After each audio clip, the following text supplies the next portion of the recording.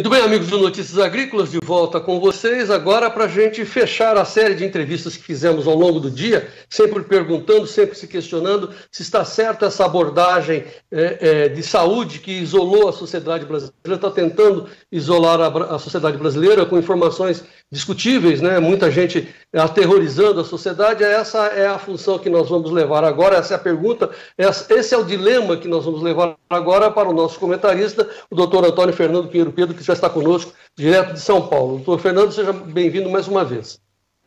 Obrigado, João Batista e amigos Notícias Agrícolas. Muito bem, então, como eu disse, né, doutor Fernando, vamos abordar esse dilema, se, se, essa abordagem está certa ou não. Quero lhe fazer um resumo rápido de três outras entrevistas importantes que nós realizamos aqui no Notícias Agrícolas. Agora há pouco, eh, o senhor acompanhou a entrevista, o depoimento, na verdade, do doutor Osmar Terra, ex-ministro, um homem ligado à saúde, uma pessoa extremamente séria, muito ouvida, cuja abordagem foi muito tranquila, com, cuja depoimento foi muito tranquilo. Há um erro crasso do que está acontecendo no país e na maior parte do mundo. Ah, essa abordagem não está correta. Ele acha que nós não devemos confinar as pessoas. Também na mesma linha, é, é, o Frederico Olive, aqui do Notícias Agrícolas, ouviu o, o, um, uma, um dono de revenda, enfim, um proprietário de revenda, diretor de revenda da, lá em Rondonópolis, revenda de veículos, dizendo que está todo mundo trabalhando, todos estão trabalhando e as, até mesmo eles que estão é, obrigados a conviver, a fazer esse confinamento, estão trabalhando via internet, utilizando aí as webinars. E por fim, também um depoimento importante que vem do climatologista Luiz Carlos Molhão, que nós vamos destacar daqui a pouco, onde ele diz que as curvas de, de, de, de, pessoas infectadas no mundo se dá mais por causa do inverno. Ele está provando isso porque ele coteja os números e diz assim: isso nada mais é do que uma influenza. Aliás, as, as influências são mais drásticas, como disse o próprio Dr. Osmar Terra. Enfim. Doutor Fernando, sobrou para o senhor, então, essa pergunta crucial. Que fazer? Ou como, qual é a decisão que devemos tomar? A mim me parece que é, essa abordagem de isolamento não está correta porque o povo não está aceitando. Não, primeiro que nós já conversamos isso várias vezes, a decisão do isolamento social tem profundos impactos na nossa economia e na nossa sociedade. E é óbvio que a gente precisa pensar, principalmente, nos danos que nós estamos causando aos desalentados, aos excluídos e àqueles que assam para comer diariamente, que é a imensa maioria da população brasileira. Então, uma decisão como essa, ela não pode ser tomada apenas uma canetada pensando naqueles indivíduos que podem, que têm condições de ficar na sua tranquilidade do lar, porque grande parte do nosso povo nem lar, né, digno desse nome, possui, né? Então, realmente, voltamos àquela discussão. A ponderação do presidente da República, desde o início, ela é válida e ele não está sozinho. Nós temos exemplos aí de posições similares como o nosso querido ex-ministro Osmar, que nós temos perfeitas condições aqui dentro do país de desenvolver estratégia alternativa a essa do isolamento social, inclusive com toque de recolher, praticamente, que é o que nós estamos sofrendo hoje. Né? Nós estamos é, enfrentando uma pandemia com um estado de sítio. Né? Eu não, não sei se isso seria a medida mais adequada a essa altura do campeonato. Acho que a gente poder, poderia adotar um isolamento seletivo, mas já que a gente não começou dessa forma, porque iniciamos o isolamento no estado de São Paulo é, a partir de ontem, não é isso, João? Então, nós deveríamos reduzir esse tempo né, e iniciarmos o quanto antes a, a recuperação econômica e, e a retomada das atividades. Obviamente, determinando que as pessoas mais velhas fiquem em casa. Elas efetivamente né, é que são o alvo preferencial deste vírus, isso está mais do que comprovado. É, eu só queria recuperar uma frasezinha só que o senhor disse quando o senhor estava é, focando na, na, nas atitudes do presidente da República, aí a internet deu uma embaralhadinha. Só queria que o senhor repetisse isso. Aí depois, daí para frente, quando o senhor é, começou a analisar o posicionamento do Osmar Terra, aí ficou inteligível. É. Não, desde o início, nós temos que verificar que o posicionamento do presidente da República, portanto, não é isolado. Né? Que ele não está sozinho, né?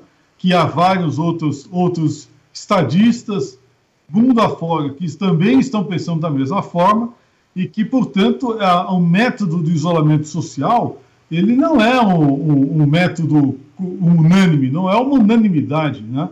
E nem, nem se trata de ser um método talvez o mais eficaz. Né? O que a gente deveria estar adotando talvez fosse adotar esta medida restritiva de maneira seletiva, permitindo que as atividades econômicas se processem livremente no país, obviamente com todas aquelas medidas sanitárias adequadas, né, que podem ser adotadas no dia a dia do relacionamento entre as pessoas. Nós não podemos é submeter o país a um estado de sítio por conta de uma pandemia. Nós estamos fazendo aquilo que se espera numa guerra biológica, né? que o país seja efetivamente inviabilizado né? com uma transmissão é, virulenta. Pois é. E, então, do doutor Osmar Terra, que é um homem de saúde, né, que é um formulador de políticas públicas de saúde, um homem respeitado, cuja presidência da República deve estar ouvindo, ele disse basicamente isso. O, o, a sobrevida desse vírus, que espalhou muito rapidamente, é de 13 semanas, todos já estão a, a, infectados por esse vírus, é isso que ele fala, todos estão. É, é, é, é, é isso não, não, existe, eu não estou contaminado, todos estão com o vírus. É, o não, ele tem uma capacidade de transmissão enorme, isso nós já, já, já podemos observar. Agora, a letalidade dele é, pequena, né, do ponto de vista estritamente de, de, das pandemias. Né? Então, eu, eu acredito que a gente precisa resgatar este ponto. Agora, por que, que esta medida não é adotada e por que, que nós estamos sofrendo este bombardeio da área de comunicação, né, alinhada, né, obviamente, àqueles nossos velhos conhecidos governadores de oposição? Né? Tirante, eu vou fazer uma ressalva muito clara aqui, você sabe até por todos os motivos do mundo, até pela ligação pessoal, né, os médicos, todos eles, são heróis estejam eles de um lado ou de outro neste posicionamento. Todos eles estão se preocupando é com a saúde da população. Então, não há condenação nenhuma a nenhum dos critérios médicos que foram adotados até agora, de uma forma ou de outra. Mas do ponto de vista né, da governança, né, estritamente da governança, eu acho que nós realmente estamos sofrendo é um problema de comunicação. Né? E, e este problema de comunicação parte da presidência da República. É necessário que o nosso presidente, que tem esta posição ponderada, que ele se pronuncie, reúna gente como Osmar Terra, que está aí ao lado, que foi ministro, né? e fale à nação, especificamente, com fundamento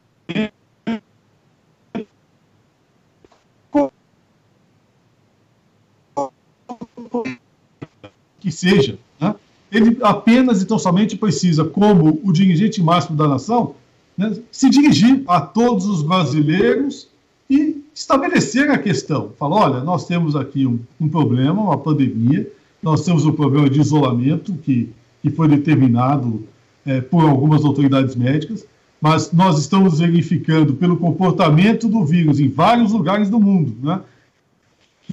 E ele tem um comportamento de seletividade, ao risco né, de morte, população economicamente, principalmente a mais jovem, né, é, esta, essa população ela está mais a sal e talvez ela precise mesmo conviver com o contato com o vírus até para desenvolver anticorpos. Acho que foi essa a grande mensagem do médico né, que, é, que nós tivemos agora, do nosso médico ministro, né, Osmar Terra, né, é, se você não tem contato, você não desenvolve anticorpo. Se você não desenvolve anticorpo, você vai permanecer eternamente sujeito ao risco do contágio. Né? Pois é, é, essa abordagem né, para a gente é muito mais é, é, olhada como uma coisa mais sensata, de uma maneira mais lógica, é um jeito de ver, mas tudo bem. Agora vamos àquilo que a gente domina mais, né, doutor, doutor Fernando, que é a comunicação, né, nome de imprensa, e também a questão política, o aproveitamento que isso está se dando. Aí sim, né, nós podemos falar com, com, com, com, propriedade. Há um aproveitamento absurdo, canalha, cruel, ah, desse episódio, episódio sobre a população brasileira. Não, o, a manipulação é gravíssima. Eu, eu acho que nós estamos realmente copiando a ficção, João Batista. Nós, nós, nós, nas primeiras conversas nossas a respeito do coronavírus, nós chegamos a citar a literatura, não é verdade? Então, vamos retornar a, a uma peça importante, né, que é o Tratado sobre a Cegueira, do José Saramago, Nobel da, da, da literatura, né, onde ele fala sobre uma pandemia em que todos começam a ficar cegos né, e, que, e que isto serve de pretexto para um grande exercício totalitário né, e um grande exercício de demonstração de, de caráter, inclusive, das pessoas responsáveis, entre aspas, pelo controle da pandemia e dos doentes. Né? Há uma série de microestruturas de poder que começam a entrar em funcionamento. Uma delas é este exercício de controle social que nós estamos observando em cima do absolutamente nada. Né? Por que do absolutamente nada? Porque nós temos um, um risco grande de contaminação, um contágio que já está se processando em números grandes, né? mas sempre com um índice de mortalidade pequeno, né? E que não justifica, pela, pelo, pelo seu índice numérico, né? o volume de ações restritivas que nós estamos sofrendo.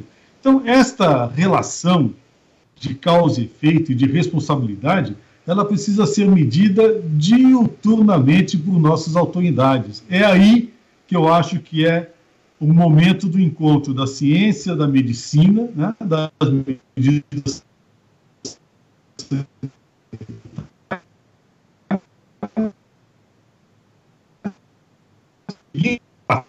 Primeiro, o fato da pandemia, né? e com os números que nós estamos tendo, que são de ordem global.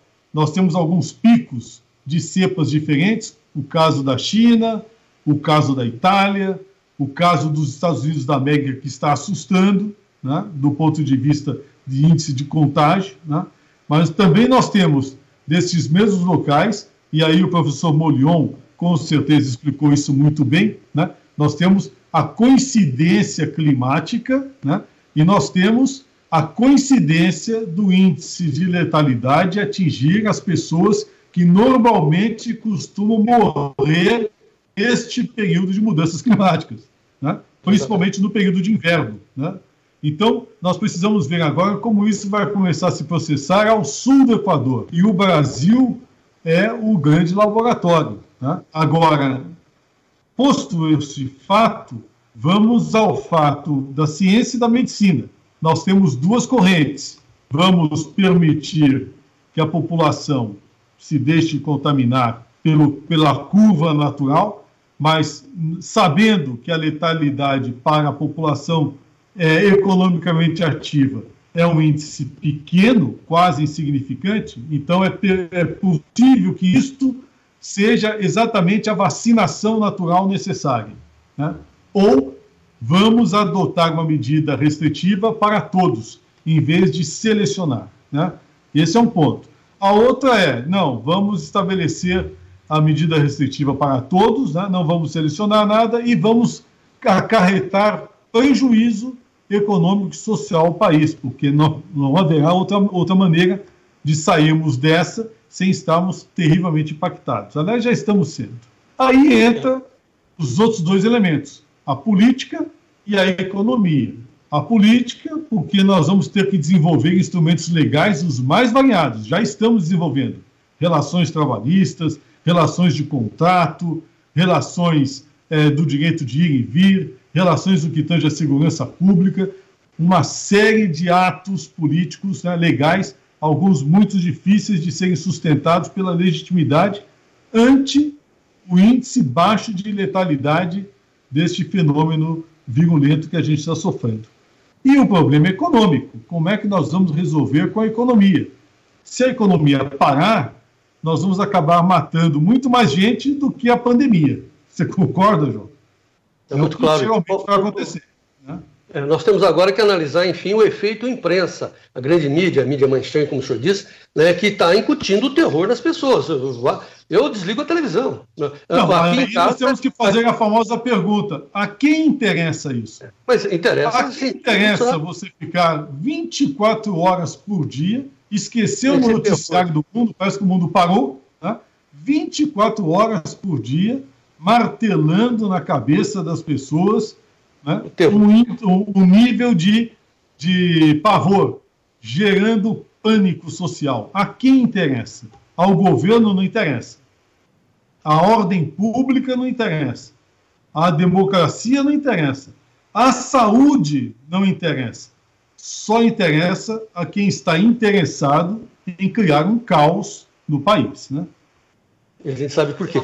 E olha, veja como são, né? Nós estamos sempre aqui dizendo, olha, é, por que, que eles não publicam as pesquisas, né? Mas e finalmente ontem a, o Datafolha foi a, veio a público a Rede Globo deu com muito mau gosto, com muita. É, é, é, engolindo em seco aqueles números, mostrando que o Jair Bolsonaro, apesar de toda a campanha, toda a panela batida, o diabo, esses 24 horas de pavor, ele está com 53% de aprovação popular. E como o senhor disse no início das coberturas que fizemos, das análises que fizemos sobre isso, é bem capaz, é bem provável. Vai sair maior. Muito maior do que está hoje muito maior que está hoje. Então, assim, qual é o fenômeno, né, é né? Só ele, é só ele ficar mais quieto, não entrar em briga com os governadores. Os fatos estão demonstrando que nós vamos superar esse conflito, essa crise. A pandemia vai se demonstrar menos letal do que aparentemente a comunicação é, da mídia está projetando, né?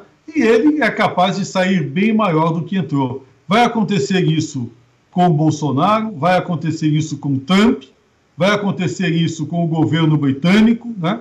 É só observar com a Rússia e até mesmo com a China, né? Que enfrentou a, a, a pandemia também de maneira seletiva, né?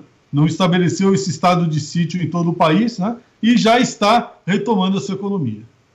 Os jornalistas ingleses, eu citei agora há pouco na entrevista com o doutor Osmar Terra, é, estão ironizando né, o terror, o pavor dos outros povos. Lá em Inglaterra, quando, soou essa informação, houve muitos ingleses que correram para as montanhas. Aí os jornais, a mídia inglesa, os chamou de corona idiotas, que são é. essas pessoas uh, vítimas desse pavor. Aqui no Brasil Isso vai é acontecer. Cine Covid, né? é o então, Covid, né? assim, né? É Cine Covid, né?